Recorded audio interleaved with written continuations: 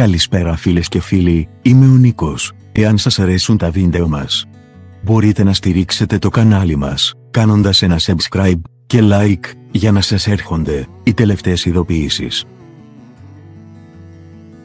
Ο Στάθης αναλαμβάνει τον ρόλο του detective, όπως θα δούμε στη συνέχεια, κάτι όμως που θα εξοργήσει τον Κουράκο ο οποίος θα προσπαθήσει να τον σταματήσει. Όλα ξεκινούν όταν ο Στάθης θυμάται, που είχε ξαναδεί τον άντρα που απήγαγε το παιδί μπροστά του. Τότε το αποκαλύπτει στον Κουράκο και στην Δήμητρα, οι οποίοι τον συμβουλεύουν να μην ασχοληθεί άλλο με αυτήν την υπόθεση, αφού θα το αναλάβουν αυτοί. Παρόλα αυτά ο Στάθης θέλει να τον βρει ο ίδιος, προκειμένου να σιγουρευτεί.